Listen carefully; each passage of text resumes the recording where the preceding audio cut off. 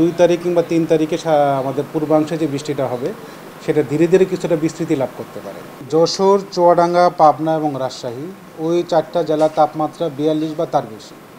সুতরাং এই জন্য আমরা ওই চারটা জেলাকে অতি তীব্র তাপপ্রবাহ বয়ে যাচ্ছে সেই কথাটা উল্লেখ করেছি।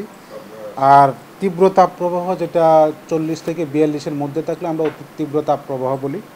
সেটা বয়ে যাচ্ছে পুরো ঢাকা ডিভিশন এবং খুলনা ও রাজশাহীর বাকি যে অংশগুলো আছে সেগুলোর উপর দিয়েও তীব্র তাপপ্রবাহ হয়ে যাচ্ছে।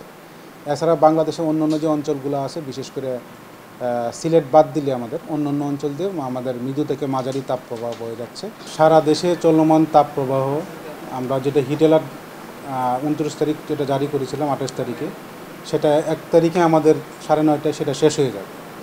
তখন সকালের দিকে আমরা উদত্তন কর্তৃপক্ষের সাথে আলাপ করে এবং আবহাওয়া পর্যবেক্ষণ বা অ্যানালাইসিস করে আমরা দেখব যে সেটা আরও রাখা যায় কিনা। তবে আমরা যেটা ধারণা করছি, এক দুই তারিখ থেকে সারা দেশের কিছু অংশ, বিশেষ করে পূর্বাংশে আমাদের, চট্টগ্রাম এবং সিলেটের সামান্য বৃষ্টি হতে পারে এবং সেটা কিছুটা বিস্তৃতি লাভ করতে পারে। কিছু এলাকায় বিস্তৃতি লাভ করতে পারে। তখন যেটার এটার প্রভাবে ঢাকা কিংবা বরিশালে সামান্য বৃষ্টি হতে পারে। তো দুই তারিখে আমরা ধারণা করছি সারা দেশে দিনের তাপমাত্রাটা সামান্য হ্রাস পেতে পারে। তবে খুলনা এবং রাজশাহী তাপমাত্রা সামান্য হ্রাস পেলেও হিটওয়েভের আওতায় থাকতে পারে।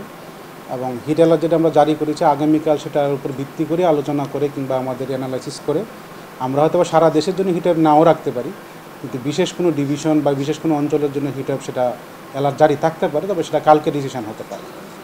আর একটা কথা যে দুই তারিখ কিংবা তিন তারিখে আমাদের পূর্বাংশে যে বৃষ্টিটা হবে, সেটা ধীরে ধীরে কিছুটা বিস্তৃতি লাভ করতে পারে এবং তিন চার তারিখের দিকে সেটা বিস্তৃতি আরও বেশি লাভ করতে পারে।